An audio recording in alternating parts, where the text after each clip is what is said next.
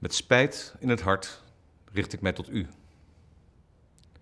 Onze reis naar Griekenland heeft bij heel veel Nederlanders hevige reacties opgeroepen. Het doet pijn uw vertrouwen in ons beschaamd te hebben. Ook al paste de reis binnen de voorschriften, het was heel onverstandig om geen rekening te houden met de inwerking van de nieuwe beperkingen op onze samenleving.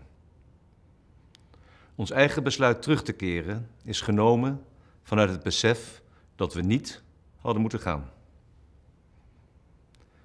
Vanaf het begin van de coronacrisis hebben we ons best gedaan om, binnen de grenzen van het coronabeleid, ruimte te vinden en er zoveel mogelijk te zijn voor iedereen die in onzekere tijden steun zoekt.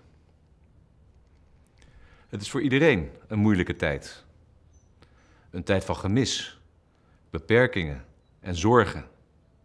Van angst, boosheid en onzekerheid ook. We hebben de aangrijpende verhalen gehoord in vele ontmoetingen, in persoon en digitaal. Met u en met al die mensen die direct of indirect geraakt zijn, voelen we ons verbonden. We blijven ons, samen met u, inzetten om het coronavirus eronder te krijgen. Zodat iedereen in ons land daarna het gewone leven weer kan oppakken, zodra het kan. Dat is nu het allerbelangrijkste en daar gaan wij mee door.